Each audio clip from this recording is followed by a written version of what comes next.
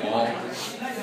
And then that pick really, uh, you know, that coverage kind of stunk uh, where we had to go for it. Uh, I hate throwing interceptions, but uh, besides that, I was in a groove.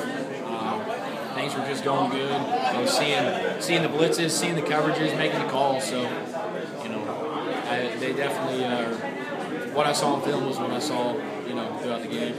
There's some nerves, maybe even more than usual, just because it'd been so long. Not really. Um, you know, I think I had uh, pretty equal, similar to you know the game my freshman year against Louisiana Lafayette. But you know, I'm a whole lot more confident in myself now because I know the offense, I know my guys, and I know defenses. Uh, my freshman year, I was kind of a, kind of clueless, you know, being thrown into the fire.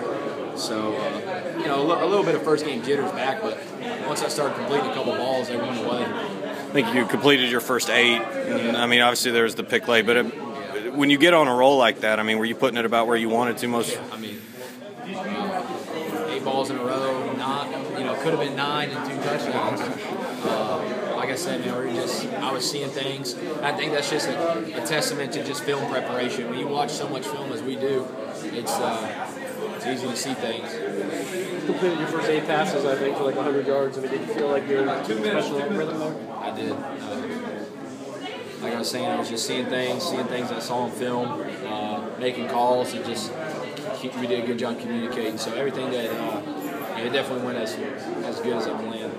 You glad you got your first? I guess it was your first career interception out of the way, right? Yeah, for real. Yeah, I guess so. So you don't need. Yeah, are always fun. Yeah, I guess. You don't want to look at it like that. Okay. Yeah, I mean, it, a pick's a pick. I mean, it, it wasn't. Uh, it wasn't. Uh, you know, I don't know. There's a lot of what ifs. I could have scrambled and tried to make a play. It, you know, I probably forced it going back and looking at it, but the coverage they were playing stunk for the play we had. So. When it's 14-6 at halftime, are you think that I might not get in again?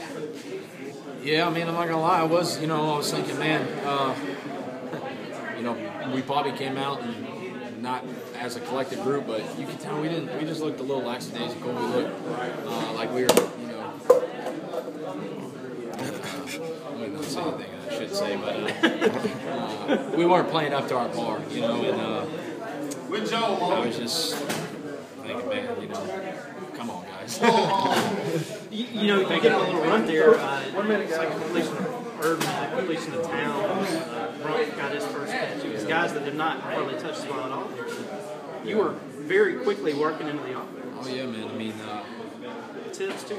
Tibbs too, and you know if Rumph doesn't fall on that on that ball that he caught, that's a 75 yard to the house. Yeah. Um, and uh, you know I said we could say what if, what if, what if, but I, I was given a, an A for how we performed today. We came